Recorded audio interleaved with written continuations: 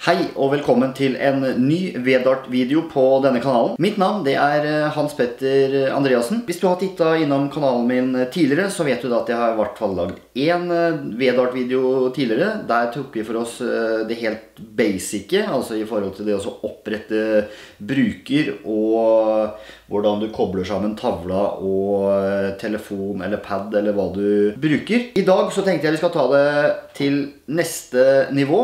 Vi skal rett og slett se hvordan appen, eller appene fungerer. For Vedart-systemet har faktisk to forskjellige apper. Den ene appen den bruker du for å velge hva du ønsker å spille. Den andre appen igjen, den er der for at du rett og slett skal kunne administrere din bruker på en måte. Vedarten har sitt eget ratingsystem, og det er jo også litt spennende å kunne følge med på.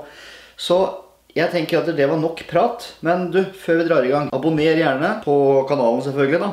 Og skulle det dukke opp noe underveis, så still spørsmål eller kom med tilbakemeldinger her nede i kommentarfeltet. Det setter jeg veldig pris på. Men du, nå hopper vi rett og slett bare inn i selve appen for å spille. Så følg med. Da skal vi ta i bruk Vedarts Game, appen i midten på bildet her. Jeg har allerede starta tavla mi, så nå forsvinner Bluetooth-tegnet oppe til venstre. Det vi starter med, det er å velge Member Login nederst på menyen. Account name, det er altså det samme som username som du oppretta, og ikke nicknamet ditt. Så da skal jeg slå inn det jeg har valgt. Så er det passordet. Dette blir selvfølgelig sladda. Og så trykker du på login. Så venter du rett og slett bare noen sekunder. Der kommer mitt flotte bildet opp, og så har du eh, nicknamet mitt eksempel, HP bare, og så har du rating, average, det er da gjennomsnittet for både 01 og cricket, som da er de to andre som står under, men eh, selve ratinga og sånt, det skal vi komme tilbake til litt grann senere.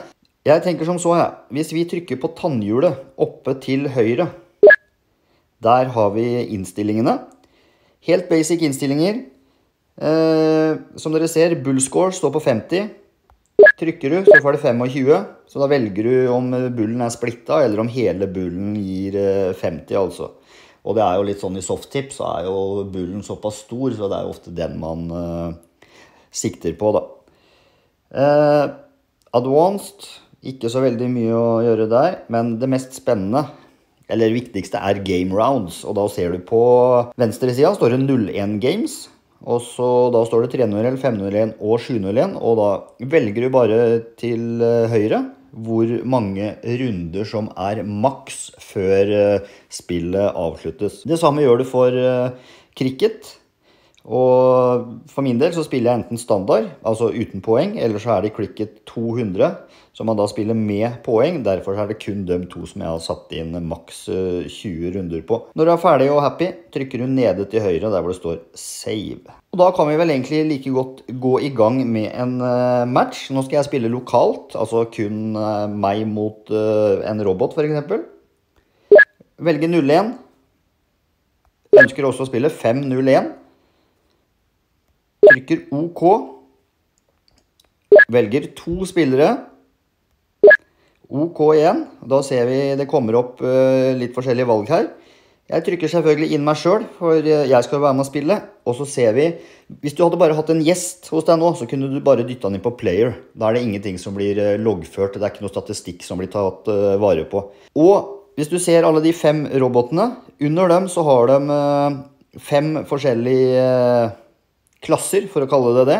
SS det er absolutt den beste, mens robot C den er akkurat sånn passe dårlig, men du skjønner også det ut ifra Vedart-systemet. Der er det jo klasser som da heter C og B og A og S og SS. Altså er du da en, en B-spiller, for å kalle det det, så skal du kanskje da spille mot en robot som er ranka B, for å få riktig konkurranse. Da ser vi også at jeg dukker opp på bildet der. Sånn er det også når du da spiller online. Det er jo rett og slett for at man skal kunne se dem som hiver. Du ser også noen valg på toppen her oppe nå. Bortover der. Åpen inn, åpen ut, står det. Eh, er du helt nybegynner, så må du gjerne begynne der, men som regel så er det åpen inn, og så er det dobbel ut, som er ganske vanlig å spille. Uh, noen ganger så spiller man også dobbel inn, dobbel ut. Men her ser du player 1, player 2 på toppen. Og skal du ha åpen inn, da lar du de to øverste felta stå som de står. Så trykker du bare på de andre og setter dem da til dobbel ut. Og her kan du også endre hvor mye bullen er verdt. Er. Da ser vi åpen inn, dobbel ut på toppen. Antall runder vises eh, til venstre. En av eh, maks 15. Og så har vi scoren min og scoren til roboten nederst.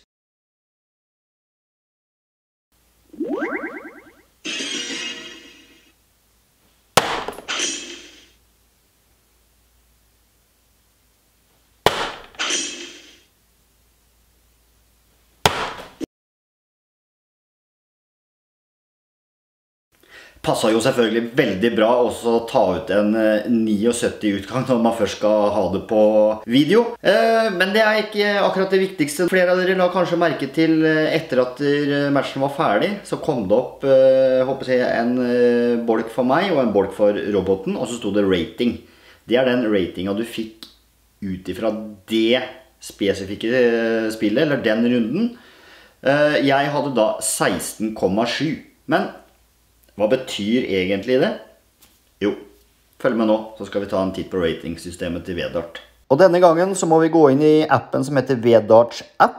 Det er da den til venstre. Her må du også da logge deg inn med brukernavn og passord, noe jeg allerede hadde gjort. Hvis vi trykker på venstre side her, hvor det står scores, så kommer det opp eh, litt eh, tall og info. Hvis vi tar den øverste her da, så står det B. 1076. Det er average rating, altså min gjennomsnittlige rating. Men se nå. B1076, og så trykker jeg på den B-en. Da kommer det en uh, tabell og en oversikt. Bla meg nedover. Der går jeg inn fra venstre, finner B og titallet. Nå er jo ikke alt uh, spesifisert med desimaler her, men man skjønner da at man ligger jo 1076. Da er du opp mot 11. Så da er du i toppsjiktet av eh, de tallene som står lenger bort til høyre her. Hvis vi går tilbake da, så ser vi også mer spesifikk eh, rating for 01 game. Der har jeg altså trippel C 9-4. Da går vi på trippel C, også 9. Og ca. midt mellom de to tallene, mellom 1925 og 2054, det blir sånn ca. rundt 20 eh, blank, har jeg da i snitt. Det er mer riktig kun for 01 isolert sett. Og så ser vi på cricketen. Der har jeg BB 1211. Trykker meg inn på samme sted.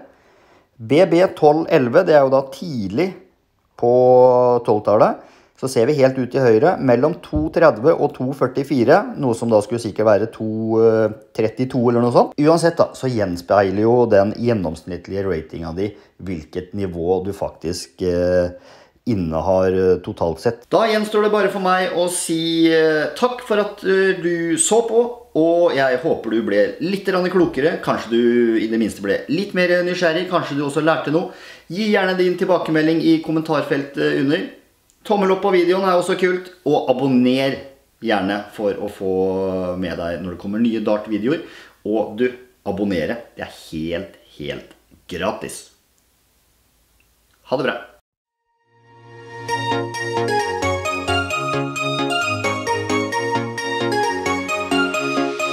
If I could make one wish in life, I would be an astronaut.